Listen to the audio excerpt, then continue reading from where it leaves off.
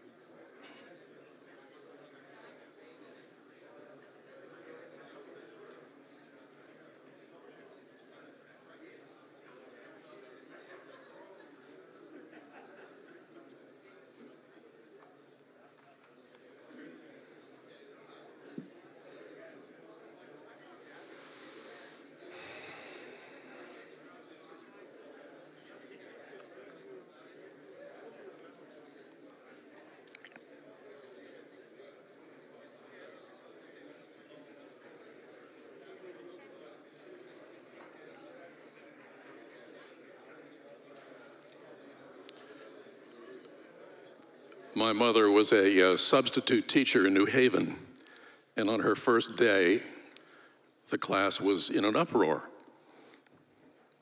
So she decided she'd just wait for them to quiet down. Well, 15 minutes later, they were still talking. So she stood up, and they stopped talking.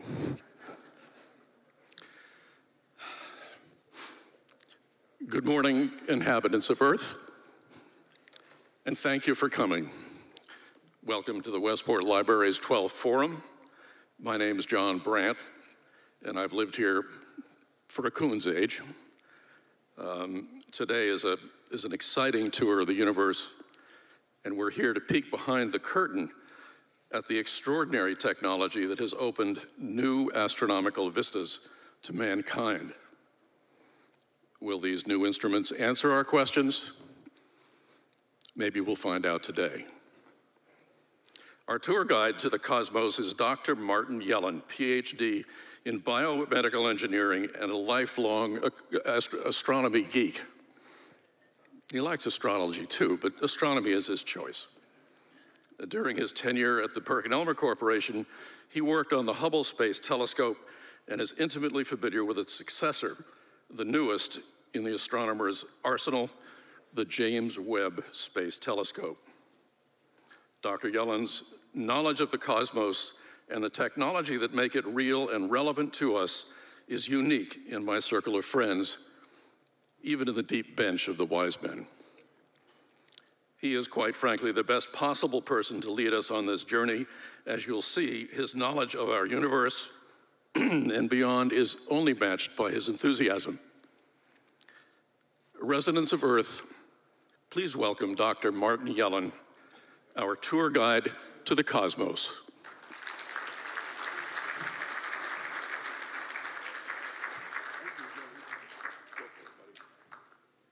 Thank you, John.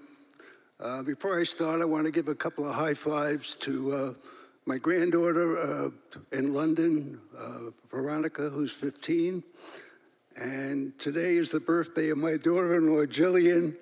So she said, Say happy birthday, Jillian. Last but not least, I'd like to introduce my daughter and her wife, her wife, her husband, Ed. Uh, if you could just get up. Some people will recognize them from the uh, Army football games at West Point where they had the best tailgate buffet that I've ever seen, champagne included. Okay, so today, I, I assume most of you are not scientists except Michael back there, but uh, I'm going to try to make it as simple as possible, but some of it you have to realize. I could just show you pretty pictures, but if you don't understand some of the science behind it, it loses its beauty. Um, so uh, I want to start with uh, this slide.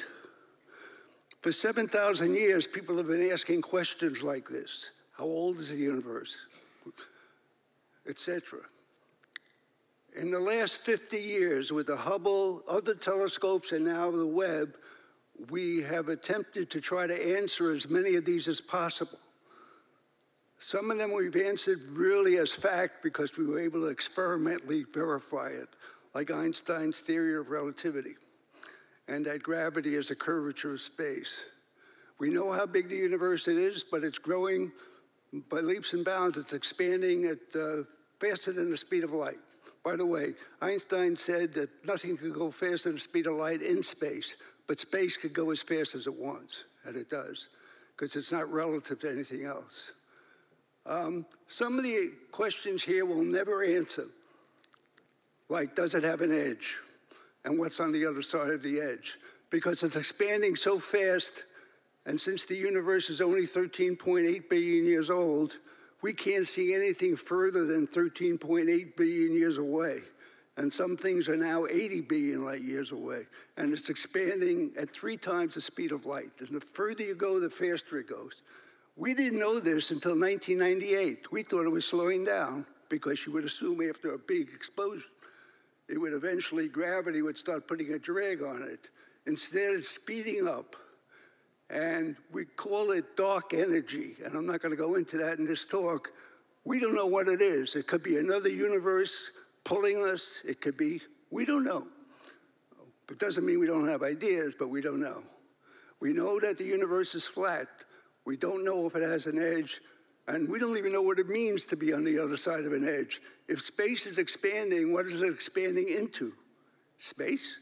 No it gets our brains a little crazy because we live, unfortunately, in a three-dimensional world, and you really got to go to about five dimensions to understand it.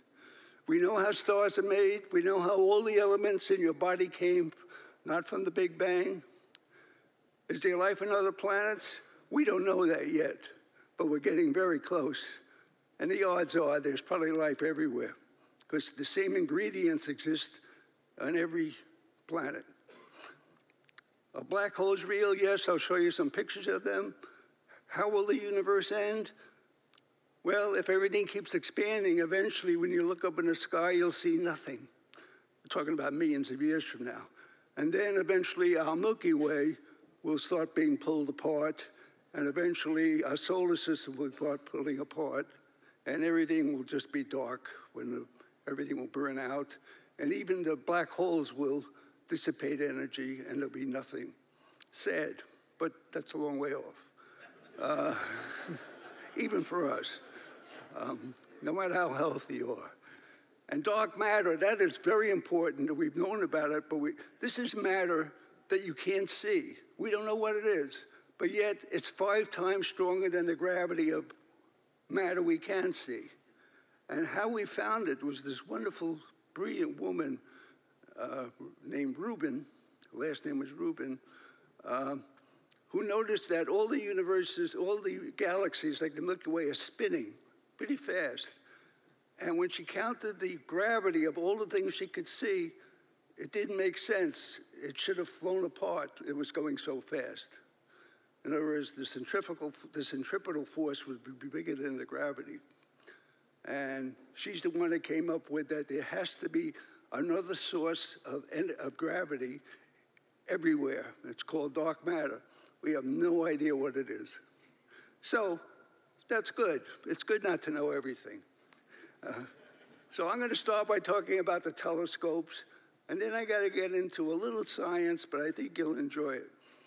Some of it you may already know, and then I'll get to some very pretty pictures. Okay, so the Hubble telescope, we won the contract for that at Perkin-Elmer in 1975, and it was finished in 1985 but couldn't get launched till 1990 because in 1986 you had the Challenger explosion and all shuttle flights were stopped. So this was left in a warehouse for four years, which really got us very nervous because the slightest piece of dust on the mirrors or oil or anything could destroy the mission. Uh, because it was designed in 75 to 80, the technology was before there were computers, you know, laptops. Uh, the CCDs, the biggest CCD when we started this was 2K by 2K. That's the detector. Fortunately, in the back of this thing is where the instruments are, and each one looks like a telephone box, a telephone booth, the size of a telephone booth.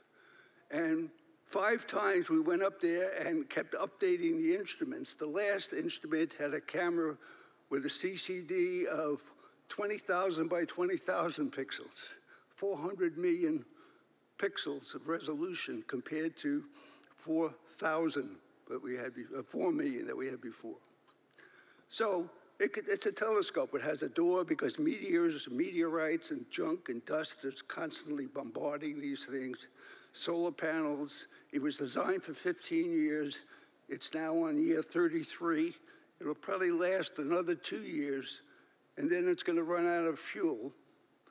And the drag of the, even though it's a, it's a 300 mile, it's not like a million miles like the Webb, and will crash into the Earth.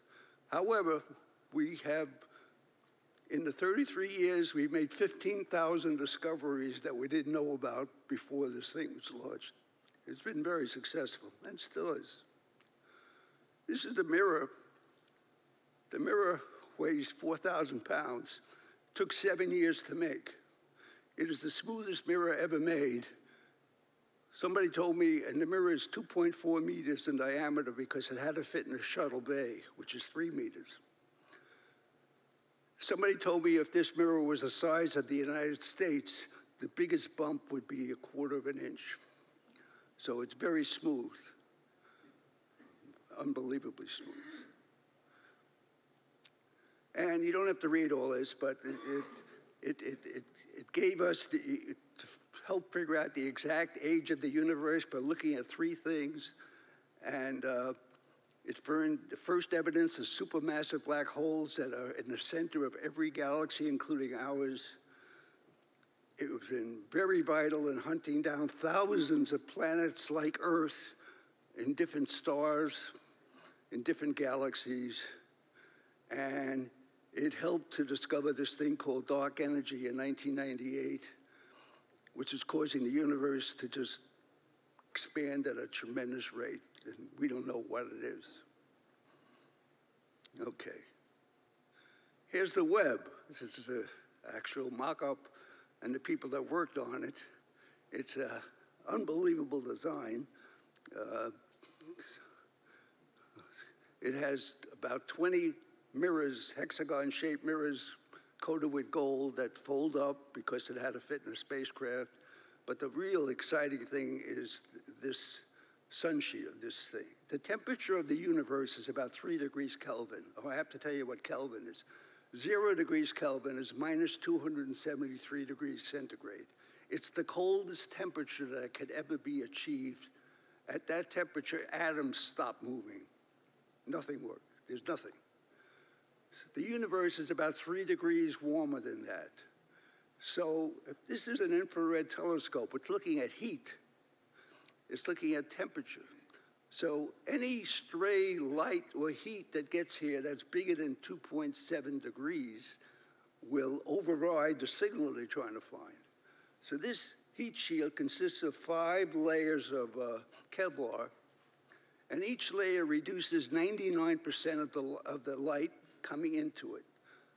It's looking down, the earth and the sun are down here, so it's never looking towards the earth and the sun. It's blocked by this, so you have five of those, and each reduces at 99%. By the time you get to the mirror, it's reduced to like 0.00001%. Fantastic uh, engineering design. Here you can see their mirror, which is six and a half meters, against our, uh, the Hubble mirror, which was 2.4 meters. Um, and their mirror separate little mirrors because it had to all fold up to fit within a three meter diameter spacecraft launch vehicle. It turns out that when you look at the area, it's uh, 10 times the area. It's uh, the reflectivity of the gold is twice as much as the reflectivity of the aluminum. And the detectors for the wavelengths they're looking on are three times more powerful. You put it all together, this is about 100 times more powerful than this. The Webb can see 100 times more deeper resolution and distance than the Hubble. In fact, the universe is 13.7 years old. I'll show you this on another slide. The Hubble can look about 2 billion years before the beginning. So it could go back about 11.7 billion years. This can look 100 million miles from the beginning before even the first star was made. And I'll show you that later. So it's really fantastic. This is just a little summary. The launch Webb was 2021. It's designed for 10 years, but it'll probably last 20 at least. Uh, 12,000 pounds. The operating temperature is minus 230 degrees C. Remember that uh, you want to get that as cold as possible. Um, minus 270 is the absolute bottom that you could ever be. And uh, that number now working is at minus 260. So a pretty good job. And Hubble's been there 32 years and it works at room temperature. It's a visible telescope, visible and, and ultraviolet. Webb is infrared. And the advantage of that, I have to tell you, will show up in the next slide when I talk about the Doppler effect, which you all know with sound, but I'll repeat it. You have to know that. Okay, the goals of this new telescope is to go back in time.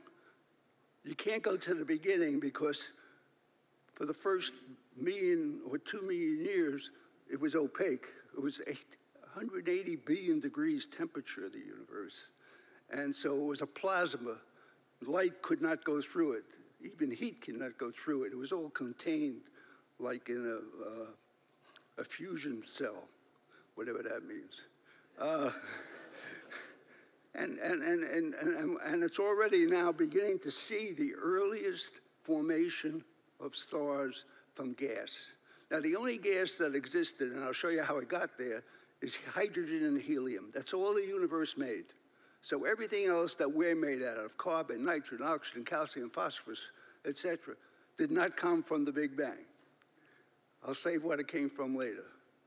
And the thing I'm most interested in, and this is where I'm working with the, the people down at uh, Greenbelt, Maryland, is extrasolar planets that have life. Not necessarily intelligent life, but I don't think we have intelligent life here. So, uh, uh, um, as you'll see, there's more planets than all the grains of sand on Earth, even including under the oceans, not just the beaches. I mean, it's just, uh, uh, you know, it's like 70 zeros if the one. That's the number of stars we know of so far, and we can only see part of the universe, and it keeps growing. It's gigantic. It's probably infinite. Um, and now that's what makes it so enjoyable, because there's no politics involved. It's nature. And we don't have to know all this, but there is something wonderful about curiosity. and How did we get here, and how does it all work? And we'll never know all the answers, but considering our feeble brains and where we're located in the universe, it's amazing how much we have learned. Okay. Now, why do we spend billions of dollars putting telescopes in orbit when there are some wonderful, large, bigger telescopes on Earth? In fact, there's about 30 or 40 uh, on Maui at, at, Mount Haleakala, which I spent three months on, in uh, Mauna Kea, Mauna, uh, Mauna Loa, uh, Kitt Peak in Arizona, there's 12. Uh, the Southern Observatory in Chile, there's three in Italy. You want to be on high mountains, so you have minimum light, noise, background, and minimum atmosphere, which distorts. The trouble is, there's 10,000 astronomers. And in order to get on these big 30 big telescopes, you have to reserve them 10,000 days in advance. And if it rains or it's cloudy, you go back to the back of the line. And if you're trying to get your PhD, you know, it's very, it can be very disheartening to spend 10 years learning something and then you just have to prove it exists with a test at night on a large telescope and you set back three years because it was cloudy that day. So that, that, that's one of the non-technical reasons. Obviously, it's much better resolution. When you look up from the Earth, you're looking through an atmosphere and different layers of temperature, so the densities are different. So it gets distorted. It doesn't matter what size the mirror is on Earth, you can't get a resolution better than a 20-inch mirror because the atmosphere just distorts it and causes the stars to twinkle and everything else. We're trying to get down to one thousandth of a, of, of a beater. Okay. But the really important stuff is that a lot of the wavelengths of interest don't come down through the atmosphere. You can only get them by going above the atmosphere. That includes X-rays, we have X-ray telescopes, UV, the C, which is blocked by uh, ozone, you don't want UVC. UVA is, uh, that comes to Earth is UVA and UVB. UVB gives you the suntan and the cancer. UVC would give you cancer immediately. It, it just would destroy all your chromosomes. Thank God for that's why when the ozone layer was depleting 20 years ago because of the use of Freon and hairspray and all those sprays that used to be used, the whole world, it wasn't like global warming. They knew they had to fix this fast, and they banned all these chemicals. And, it, and now there's plenty of ozone in the atmosphere. And the thing, uh, of course, is looking back in time. I think I have a view graph of that. Uh, I will. I'll show you how far back you could see from the Earth, from the Hubble, and from the Webb. And the Webb is like almost to the beginning of light. Okay. Light is an electromagnetic wave. You don't have to understand what that is. It's not like sound, which is a vibration of particles. Sound can't travel in a vacuum. You know that. You put an alarm clock in a bell jar, remove the air, and you don't have any sound. Uh, light doesn't need anything. It just travels itself, and it never goes, and it's traveling always at the same speed. 186,000 miles per second.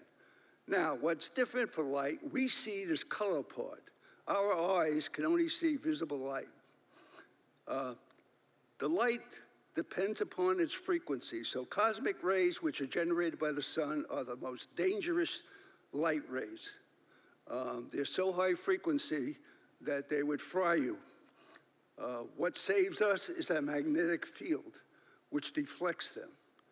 Mars doesn't have a magnetic field. I don't understand how people could talk about going to Mars. You'd have to live in a lead box because the cosmic rays not only strip their atmosphere, it stripped all their water and it would destroy all your chromosomes and genes. Uh, then comes gamma rays, which again doesn't go through the atmosphere. We have a gamma ray observatory, X rays, which thank God doesn't go through the atmosphere. Ultraviolet is dangerous, but UVC doesn't, is blocked by the ozone, the dangerous. On the other side, so Hubble is in this visible light ultraviolet spectrum. Webb is in this uh, infrared spectrum going out to the right. And that includes things like heat. Infrared, we don't see, we feel it as heat. Then, they, then as you go a little slower, you get into microwaves. All a microwave oven does is vibrate water. Of course, it'll vibrate any liquid in you too, so you don't want to be exposed to it. Same thing with radar. But then it gets to be very long, and it's radio, and that goes through us all the time, broadcast band. They're perfectly safe, and of course they come down to Earth, otherwise you wouldn't be able to hear anything. So the real dangerous stuff is fortunately kept away from us by the magnetic field, uh, ozone, and just the blockage of, of, the atmosphere. The stuff we're interested in is the near ultraviolet to the far infrared, and uh, Hubble took care of the first two boxes, the black and the purple, and now Webb is looking at the others. Now, I have to talk to you about the Doppler effect so you can really appreciate this. You know when a car, like a police car, is coming by, as it comes near you, if its siren is on, you hear it high pitch, and then when it goes away, you get a low pitch. Mm.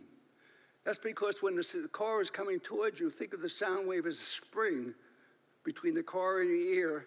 It's compressing the spring, higher frequency. And then when it's leaving you, it's pulling the spring, spring, lower frequency. Well, light does the same thing.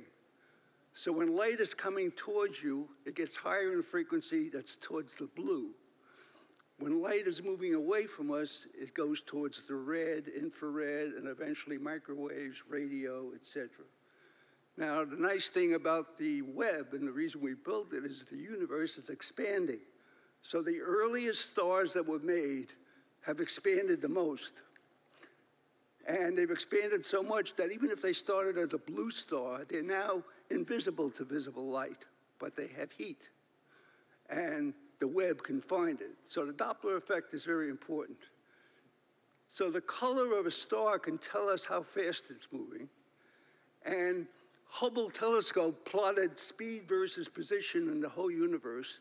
So the color of the star tells you how fast it's moving, where it is, how far away it is, from which you can detect the brightness, from which you can figure out the mass and the size and the power. I mean, it's, it's just beautiful, just the color. And all these other things fall into place. I, I find that wonderful. I know there are other things like ladies, uh, the, the lady. Uh, but, uh, I love this cartoon. I love hearing the lonesome wail of the train whistle as the magnitude of the frequency wave changes due to the Doppler effect.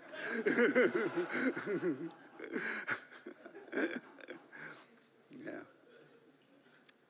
Okay, this is the one I promised you. This is how far you can see.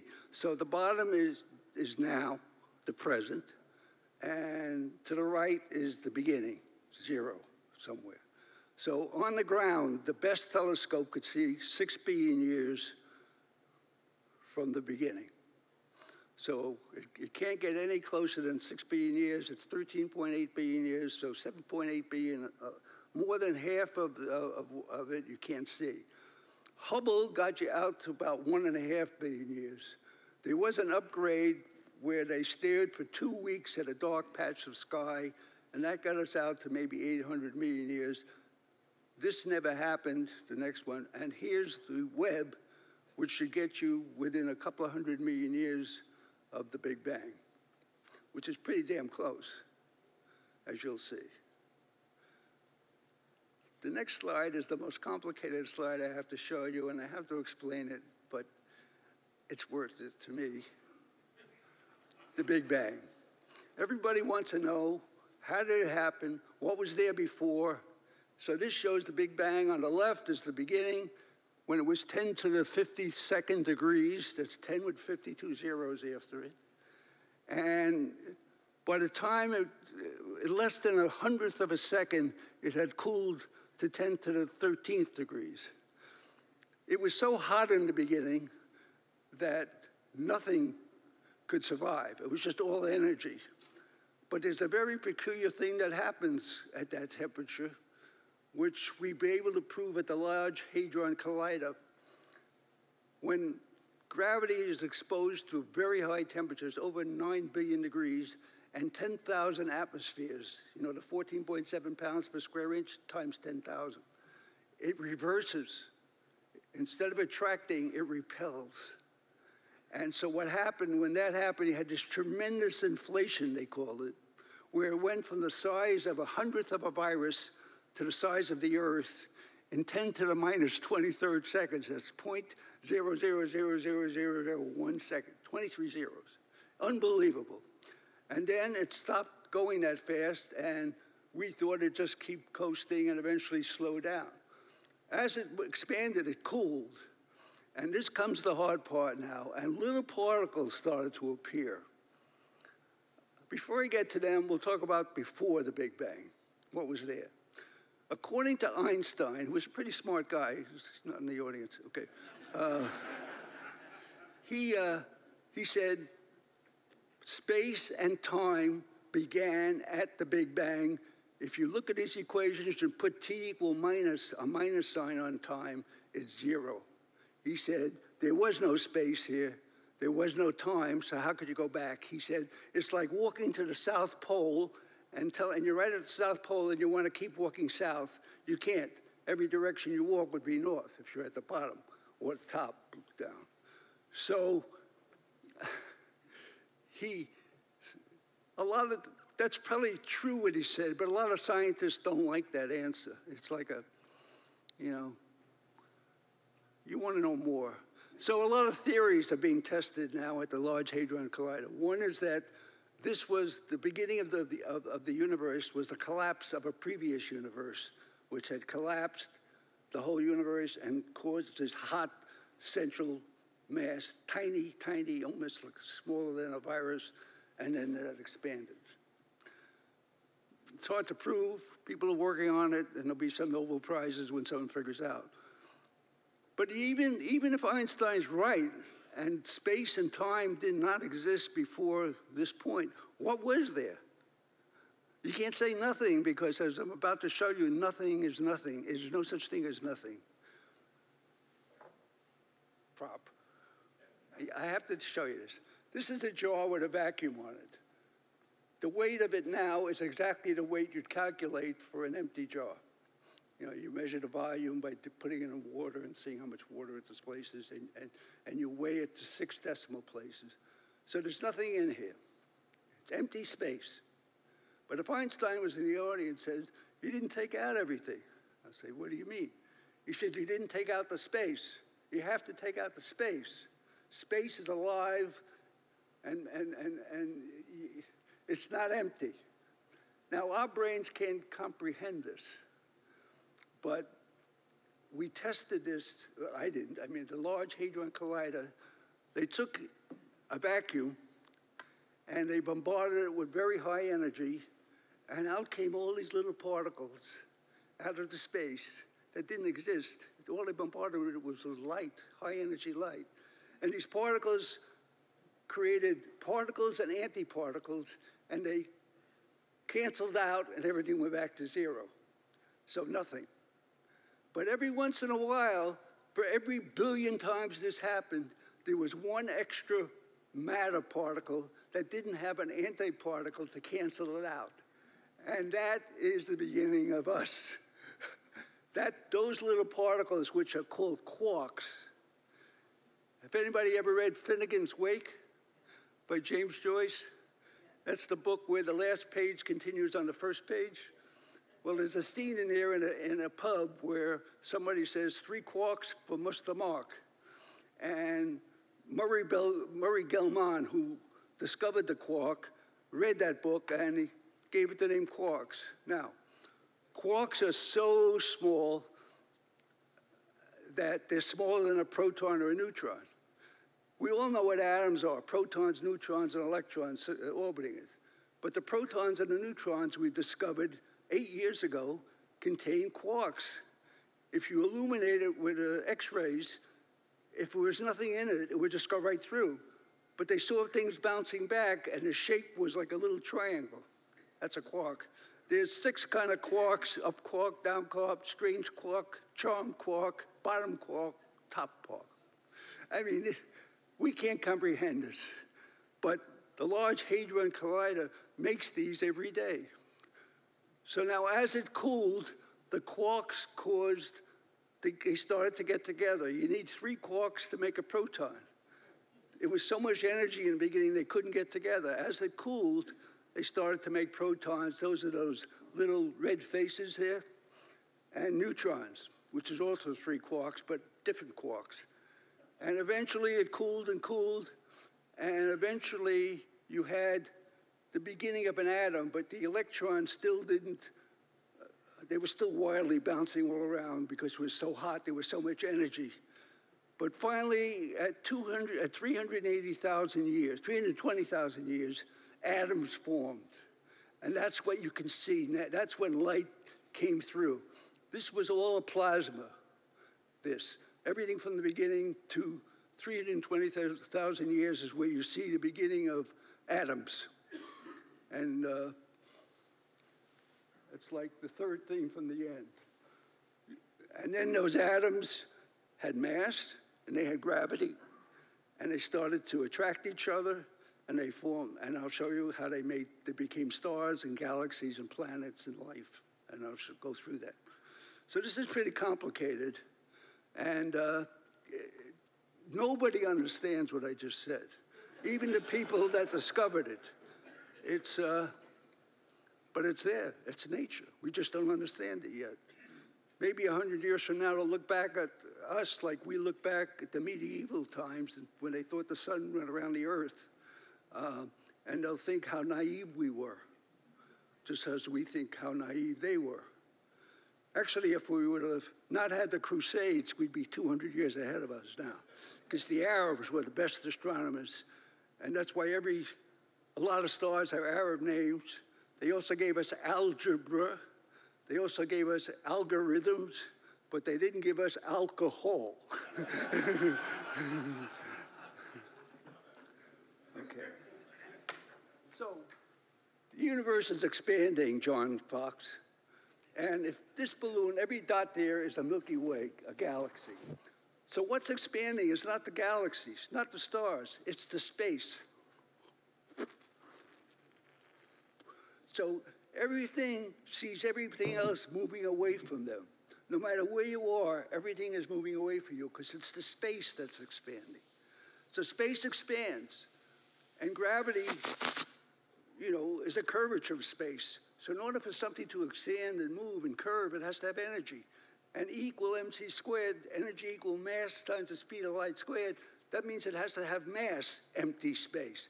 That's the mass, the quarks, which theoretically disappear after they're made, but once in a while, for a reason we don't know, one out of a billion survives and keeps going like that and forms the whole universe.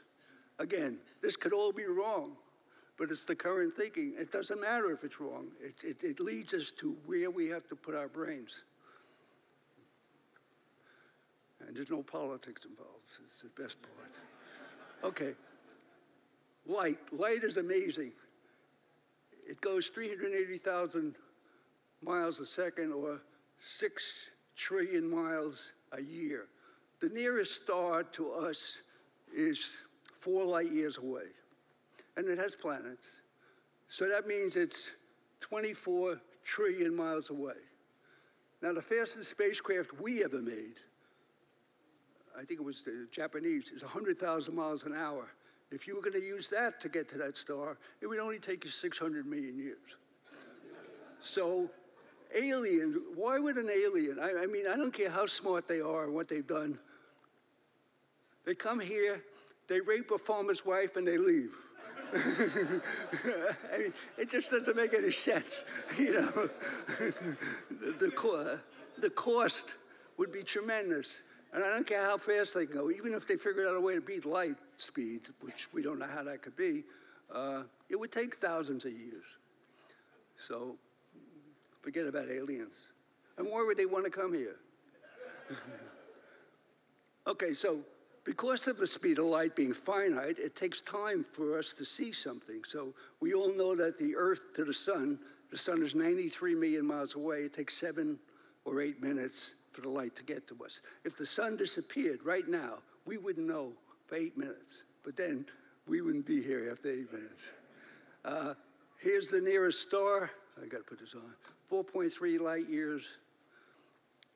So that means that a telescope was really a time machine, and I love this.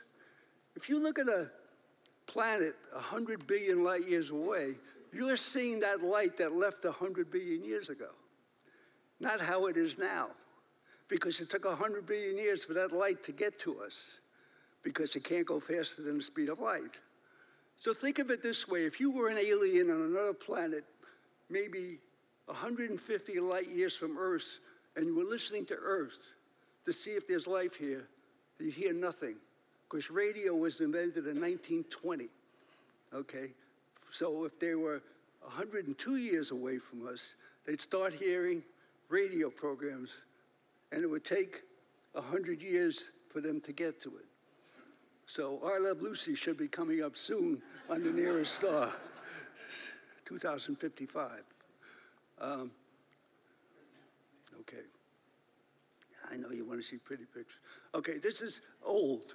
This says there are so many stars, more than the grain of sand of all the beaches. Well, now they discovered there's not 100 billion galaxies, there's 3 trillion galaxies that we now have discovered. So now it's not every star on the beach, not every grain of sand on the beach. It's all the grains of sand under the ocean, too. There's more stars. And almost every star has planets. So the idea of just us a low probability, but it's very hard to find these. It's so big and far away. This is a beautiful, this is a black. Uh, on the Hubble, they decided to look at a part of the sky about the size of a dime, which was absolutely black. There was nothing there. And our job was to design a pointing system so it wouldn't move for 10 days. It would stay absolutely still. You know, you have solar winds and you have some gravity and you have meteorites. And, and after 10 days, this is what they saw at this little spot. Every one of those is not a star, they're a galaxy like the Milky Way. And everywhere we looked, we saw this. Everywhere. The whole universe is uniform with these galaxies.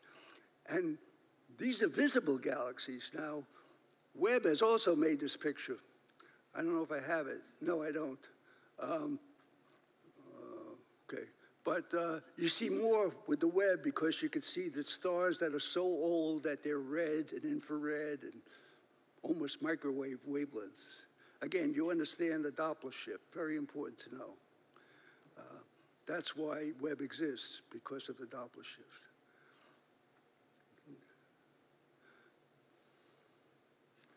What's next? Okay. This is a picture, a recent picture from the Webb of, of a, it's called a pinwheel galaxy. And it's slowly attracting these other small galaxies. You can see it's beginning to uh, tear them. Eventually it will collide. Just like we're going to collide with Sagittarius, which is our closest galaxy. We're moving to each other. And uh, it may not be so bad when we collide because there's so much space between the stars that we might just be able to accommodate it, but you don't know. But that's billions of years off, too. This picture came to me from Webb two days ago, and I love it. first I said, what the hell is this? It looks like you're looking at the rings of a tree, you know. And what it is, they figured it out, I don't know how they figured it out so fast, that there's another star that periodically visits this star, they kiss, and then it goes away. But when it gets close, it takes some of that star because of gravity and moves it out a little. And it comes back every million years and does the same thing. So there's 17 here now. So from here to here is 17 million years. And each time this star is getting smaller and smaller, and eventually there'll be nothing left to take. So it's just a fantastic picture. It's in the infrared. They convert it to visible light so you could see it. All the pictures from Webb, from uh, Webb, are invisible to us, eyes, our eyes. So they all have to be artificially colored. Um, I put this here because I can't talk about it, but all these stars I just showed you, all these planets, all these galaxies, that only represents, we've discovered, only 5%, 4.6% of the universe. There's a thing called dark matter. I mentioned it before. It, you can't see it. We don't know what it is, but it has gravity, tremendous gravity. And without dark matter, all the galaxies would fly apart because they're moving at over 160,000 miles an hour, and they would just, the centrifugal force would just, so the gravity holds them in more. And that's estimated to be five times as much gravity as everything you can see. And then this dark energy, this thing that's pulling us away, everything away, that's the equivalent energy uh, based upon how fast it's moving and how, how much energy it's providing. I mean, so most of the universe is dark energy. We did not know this existed until 1996, 1998, and the two guys won the Nobel Prize. We thought the Earth was slowing down, the atmosphere was slowing down. It's speeding up.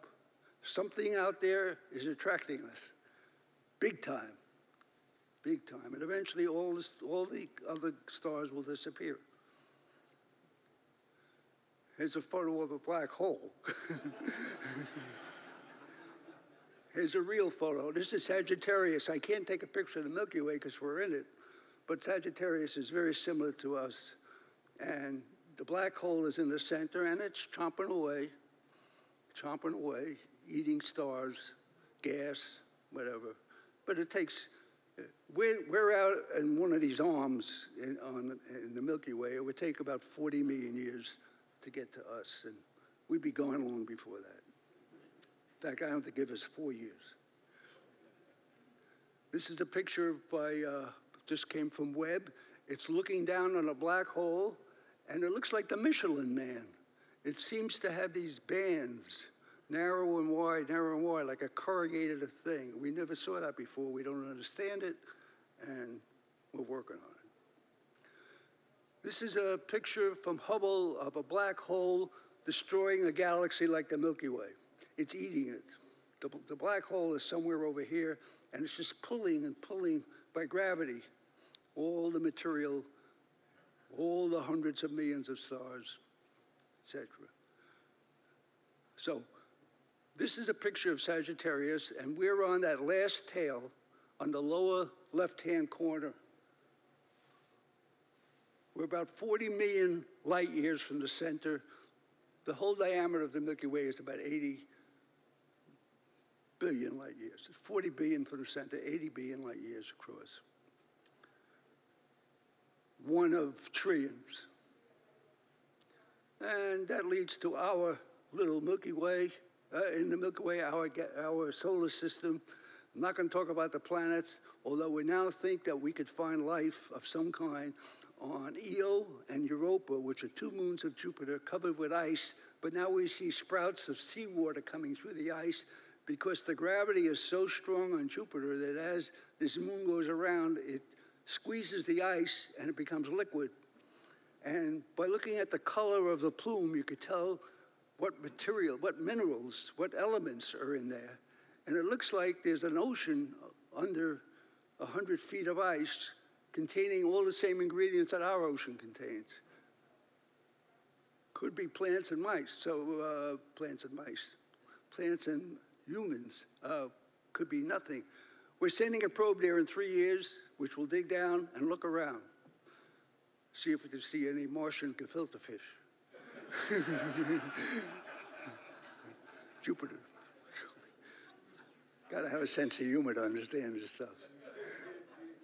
All right, our star is like an average star. Uh, some are one tenth as much, some are a hundred times bigger. Uh, the size, uh, some are as small as the Earth, and some are as big as our solar system. And the power is unbelievable. From one ten thousandth to a hundred thousand, a factor of a billion. So our star is not big enough or strong enough to create a supernova. When it, you know how a star works, I'm going to show you, but basically it's gravity. A star has a lot of gravity. It's trying to crush in. And when it crushes in, it could cause atoms to fuse and create a hydrogen bomb equivalent fusion, which causes an explosion out. And what you do is you get a balance between the gravity trying to pull it in and the explosion trying to make it come out. So when it runs out of fuel, it collapses completely. And if it's very big, it explodes into what's called a supernova. And I'm going to give you a head start on this. The hydrogen turns to helium. Two hydrogens make a helium. Then the heliums are squeezed together and they make uh, three of them together and make carbon all the way up the 92 elements is all in the explosion of supernovas that's going on all the time, and it's everywhere in the universe. So we are made of stardust. We really are. Hoagy Carmichael was right, if you remember. Our sun is four and a half billion years old, probably live another four or five. Pretty big. You could put a thousand Earths in it. I don't know how they weighed it, but it's very easy to weigh it. 44 with 30 zeros after it, pounds. You know how you weigh the sun? You just see how fast it takes to go around one year, and the distance, 93 million miles. You put it in an equation that was developed in the 1500s by a guy named Kepler, and out comes the mass. Physics. The interesting about the sun, in the center, it's 10 million degrees. That's where the nuclear fusion is going on, the furnace. And the surface temperature is about 6,000. Interesting on the sun, if you go away from the surface, it goes up to 10 million degrees. And first we couldn't figure out what that was. It turns out there are magnetic rays coming out of the sun that heat the atmosphere to millions and millions of degrees. So it's very complicated. But here's what I like. Every second, the sun produces the energy, every second, of a trillion megaton bombs. In one second, it produces enough energy to supply the Earth for 500,000 years. And when the sun finally collapses, it won't explode. It'll just let go of its outer layers, and the sun will become the diameter of Mars. We will be burnt, destroyed. What's really interesting here is that 100 years ago, instead of discovering oil, somebody melted some sand, which is everywhere, and that's silicon. And we could have made solar cells easily. I mean, with a little thinking. It, it, it's not that hard. And it could, could, could have been that we would go to a solar controlled power system and forget about global warming and all these other problems. But we didn't. So this is, again, how it works. You have hydrogen, and they have one hydrogen has one neutron, one proton. It's called deuterium. It's used in hydrogen bombs. Tritium has two uh, neutrons. The squeezing of the gravity causes them to fuse into helium. And the energy that comes out, remember E equal mc squared? Well, the mass of the helium is a little less than the mass of these two because there's some other things that come out. And if you, if you look at this equation, a couple of ounce difference in mass times the speed of light squared can produce 100,000 to a million tons of TNT. The hydrogen bomb that Russia built, the biggest one, was 100 megatons. That, that used up three ounces of fuel. And it made 100 million tons, which would destroy the whole country, the world. So this is Einstein's most famous equation. And it really tells you that mass is stored energy. Energy, wherever you have energy, you have to have mass. So that invisible space I told about, that if you, that under the right conditions, little particles start coming out, that's the mass. So it all fits together. And this was all discovered in the 1940s, 30s, and led to the making of the atomic bomb and then eventually the hydrogen bomb. Too bad.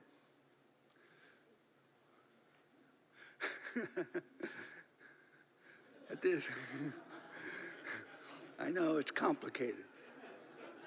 It's complicated. All right, now pictures. Uh, this is uh, a lot of people's favorite picture. It's called the Pillars of Creation.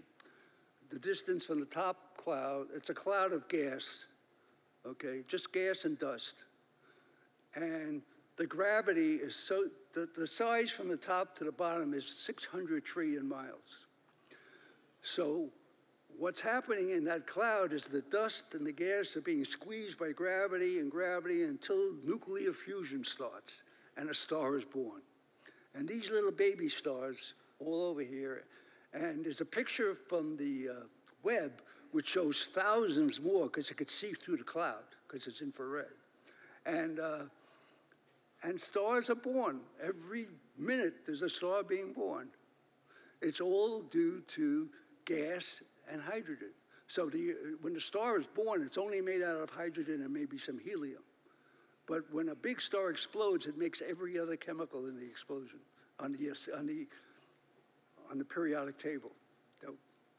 It's, it's just, it leads to the question, is the universe the way it is for us? Or is it just random that we would not exist if the universe was different? If some of the numbers, like if E equals 0.9 mc squared rather than mc squared, you wouldn't get the energy. You wouldn't get the amount of energy you need to make these fusions happen. So, I mean, everything is like to six places. So,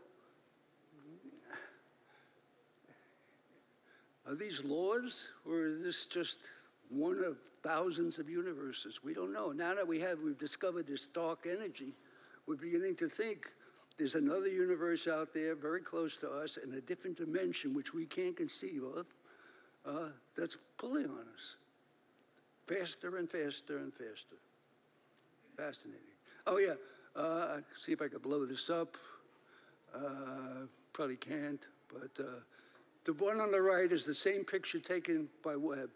And if you, if you I'm, I'm sorry, I apologize at the signs, but um, it, it's, uh, it sees like 10 times as many stars. And this is going on all over the clouds, all the, uh, this is one you're all familiar with. This was the first picture sent by Webb. It looks like a mountaintop that you could hike under the stars.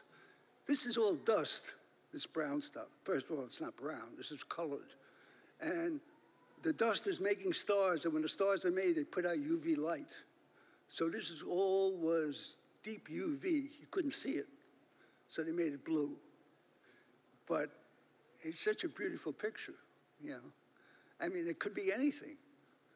It could be a mountain range in Utah, but it's just a cloud of dust doing its thing.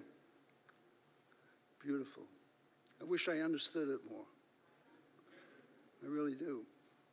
Now, when a big, this is another galaxy, it's called the Sombrero Galaxy for obvious reasons. This bright spot in the upper left is a star supernova. A supernova is when a big star explodes, it implodes, and squeezes so high that it makes everything else when it explodes. It is brighter than the 100 million stars in the galaxy. That's how bright it is. Okay? And uh, I had that same picture with Webb of that same thing. Those lines you see are not anything to do with the picture. It has to do with the fact that the hexagon-shaped mirrors have edges, and so you get diffraction uh, around the uh, image. But that is bright. I mean, uh, these are galaxies, not stars. You know, these are like 100 trillion stars in each one of these dots. Now, here's the key picture. yeah, you got to follow this. So originally, it's just hydrogen. And as the gravity gets stronger, it squeezes the helium. So there's less energy, so it collapses even more. So now it's stronger, so it squeezes the helium into nitrogen and then into carbon, and it gets, it getting smaller and smaller and harder and harder. until it explodes. And all those chemicals go all over the universe, everywhere. And we could tell what everything is made of. I'll show you how. It's very simple. It turns out every color has a fingerprint or a barcode. And if you just look with a spectrometer, you can see exactly what things are made of. In fact, that's being used by Webb to see if there's life on other planets by looking at the atmosphere. And if they see oxygen and methane, that's a good clue there's at least plant life. Fascinating. I mean, they, this is part of a 26 hour lecture that I attended twice and try to get it down to 50 minutes. I got five minutes. So this is what it looks like when it explodes. And, and, and before, before it exploded, all you had was hydrogen and helium, one and two. We're made out of everything over here. You know, uh, silicon, phosphorus, sulfur, oxygen, nitrogen, you name it. You know what, calcium, iron, all that. If the star didn't, a big star didn't explode, none of these elements would exist, and we'd just be hydrogen balloons, you know, or helium balloons. It's just remarkable to me. Yeah, I wanted to show you this because this is sodium, nitrogen, hydrogen, and, and, oxygen. When you look with a spectrometer, which is like a prism, which breaks up the light, every element has its own signature. So you could tell what the sun is made of, you could tell what anything is made of by looking at the atmosphere. The other nice thing is, is when they're moving away, you get the Doppler shift, Doppler, and all these things move to the right if it's moving away, but they, their separation stays the same, so you know it's still sodium, but it's moving away from you. And by the distance it moves away from you, you can tell how fast it's going and where it is. It's just beautiful. So, uh, so that's how, how we do it. I mean, the spectrometer is really key. And the Hubble had one, but only visible. But now that the, I'm really sure that within a year or less, they'll be discovering life on exoplanets. I didn't say intelligent life, but they'll be able to see enough gas to, to figure out that the only way those gases could have been there if something is rotting. Okay? And hydrogen doesn't rot people rot. yeah, this, this is what I just said. The, the nitrogen makes our DNA, the calcium makes our bones and teeth, the iron makes our blood, the carbon makes everything else. We are made of star stuff. And a different star probably made the atoms in your right arm than your left arm. It's just amazing. It's all over the place. And when we look at every single star, we see the same things. And every single planet soon will see the same things, and then we'll know where there's life. You know this guy, Dyson? Freeman? Life doesn't exist anywhere but Earth. That's like filling a cup with ocean water and saying there aren't any whales. I like that. So far, we have found 6,000 planets like Earth. This is just showing, it just keeps growing every day. And, uh, and the one that's most interested in where uh, Webb is focusing now is it's called the TRAPPIST system. It's six, seven planets, all with water on them. This is a much dimmer star than the sun, so the first planet is pretty close, but it's not that hot. In other words, liquid water exists. This planet here is just like Earth in terms of temperature, water, atmosphere, oxygen, carbon dioxide, methane, you know, Trouble is, it's 800 light years away, 800 light years away. So if we wanted to say hello, the only thing that travels the speed of light is be like laser beams or radio. So you say hello, 800 years later they hear it, and then what if the line is busy? You got to do it again. and so it's just so big, so fucking big. Pardon me. This is the goal of of the James Webb Telescope. They think that with the present system, under the right conditions where they can block out all the background light, they can image a large planet. This is not, a, er, this is not the Earth. This is an artist's rendition of what they think they could see, where the white stuff is water and the other stuff is mountains and land. And if you see lights, oh, that would be exciting, wouldn't it? Maybe in our grandchildren's. But uh, that's the goal. I'm in my end. Oh, I said this before. The best proof that there's intelligent life is that it hasn't come here. Arthur Clarke said that. The guy who did 2001: A Space Odyssey. And again, uh, this is the only way you could communicate. That's why we have in New Mexico 600 dishes. Every time we find a star that has the right seam to atmosphere, we start aiming at that star to listen. And imagine, even if it's a thousand light years away, imagine if they had their equivalent of Google, and we're listening in on those signals. And they're a thousand years ahead of us in knowledge, or a million years, or a billion years. Uh, it would be amazing what we'd learn. If we're the only one, then, God, we sure didn't take good care of this place. That's the end of my talk. Thank you.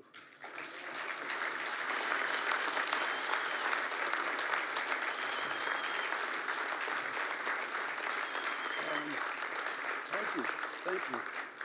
Uh, Earthlings, we, um, we've been um, privy to a truly great teacher. Um, I don't know about you, but when I was signing up for science courses, I'd break out in a cold sweat. Raise your hand if you'd choose this man to be your professor. Thank you. We're going to take your questions over here, but you're going to have to toddle over to use this microphone. Who's first? Boom, boom. Uh, a comment and a question. First of all, in the last, you know, NASA has this great history of having their missions, science missions, last a lot longer than planned. And even in the past month, they've commissioned a study to have Crew Dragon push the uh, Hubble from its present 535 kilometers up to 600 kilometers, where it started off. That doesn't seem as possible with the Webb, which is a million miles away. How long would the Webb stay in orbit around the Lagrange point? Around the million mile mark? I think it's a million Earth- miles away. The Earth is going 67,000 miles an hour around the sun. That's one year. So it's, we know the distance, 93 million miles. So a million miles is practically 1% of the Earth's distance to the sun, 93 million miles versus one mile. So it would take a year to go around. Marty, would you move to your left a little and make the microphone your friend? I can't hear you. Oh, that's good. Now we can hear you. Yeah. Who's I'm next? Uh, did you get my answer? Uh, Yes. Okay. We can hear you better if you're talking into the microphone. I know, but I can't hear better. and I got It has to do with $8,000 sound waves, you know. A question is on its way. I only answer easy questions. This is, this is an easy one. Um, uh, I, first of all, thank you for speaking to us, and I appreciate your sense of humor. You ply us with very interesting data, then you peek around the corner of your speech and hit us with a zinger. It's very good. But I want to know how, uh, I have a completely different question for you. How did you sleep well in August 1990 when the null reflective corrector was not detecting Oh. the error. I mean, the Hubble telescope mirror. Yeah. Yeah. Good. Thank you. That was due to an error in the measuring equipment that measured the mirror. And, and in order to build it, you had to have the spacing between two mirrors in the test equipment exact. And it was a metering rod, a metering rod, Yeah. and a speck of paint came off that metering rod. So when the laser aligned them, they were off by one millionth the thickness of a hair. Yeah. We wanted to retest it. For four years, it sat in a warehouse, but NASA didn't want to do it. And when we got up there, we found the problem. The problem is fixed very easily. Contact lenses, so every instrument had contact lenses put in it in front. And it, it was beautiful, but it was very embarrassing. Uh, not I, but some of my coworkers had to testify in Congress, and they were insulted and told they should go to jail. You know, we wanted to retest it when it was all put together. We had only tested it separately mirror, you know, solar panels, this, that. Was it tested in Danbury? We tested it first in Danbury and then we went to Lockheed Yeah. in California where they integrated it into the spacecraft. but they didn't do any optical testing. Thank you. That was a bad time in my life. Marty, the, um, what you say about the distances and, and all the rest of it means, in terms of finding things, it could be kind of boring for us for a while. Now, science fiction writers get around this by talking about things like wormholes and that kind of thing. Do, do you and the other serious scientists think about uh, that as well, or do you just dismiss that? Well, there is some scientist, uh, uh, I forget his name, he's at Caltech, who thinks that uh, two black holes could connect through what's called an Einstein-Rosen bridge, which is a wormhole. And that you could enter it at one end and come out on the other end at a different place and time. So if you imagine space as a flat sheet, and you had to go from here to here, if you folded the sheet like this, and you just had to go from here to here through the space, that's what a wormhole is. But there's no evidence yet, without gravity in a, in a, in a black hole, uh, that you could survive that, such a thing. But people are still working on it. There probably are wormholes all over the place. Um, but it, that, that's the concept. It would be wonderful because then you could go faster than the speed of light. Well, not that you go fast, it's just that the distance would be very small. Yeah. Another question? What's for lunch?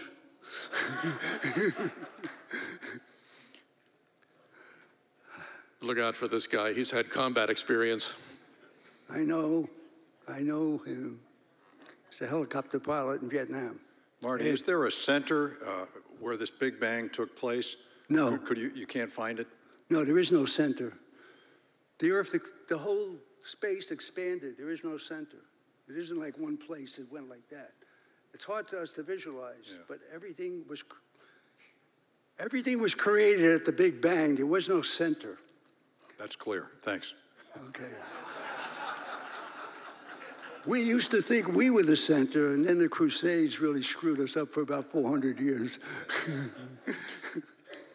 Marty, in the last couple of minutes that we have before we release you to um, perpetrate fraud on the public, tell us a little bit about how you got here through your interest in so many different areas of science. Well, it's just, uh, it's not really so many different areas, it's physics. And I have a doctorate in biomedical engineering, which was half physics um, and half medicine and biology. Because in those days, we were developing synthetic organs, artificial arms. You know, it was after the Vietnam War, and we, prosthetic devices was big. And that, but eventually we got out of that because too many lawyers got involved because you can, you always make mistakes. Um, but it's just, uh, I'm very curious. You know, I'd rather, I think I have a statement here.